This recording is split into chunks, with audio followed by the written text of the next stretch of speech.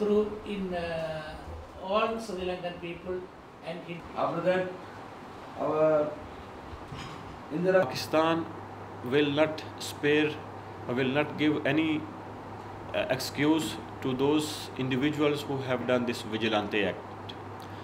Our Prime Minister, whole leadership, as you see that our Prime Minister has spoken with His Excellency the President, as he has assured him, assured him that uh, Pakistan will uh, leave no stone unturned to apprehend those who are involved in it, and uh, they will be given very strong uh, punishments.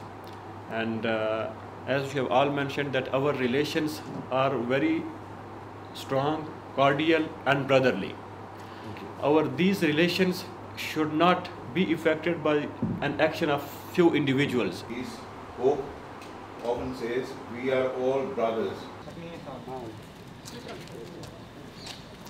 to overcome such incidents, uh, what has what we think we should stop the terrorism. But to stop the terrorism, what we have to do, we must stop the fanatic mentality.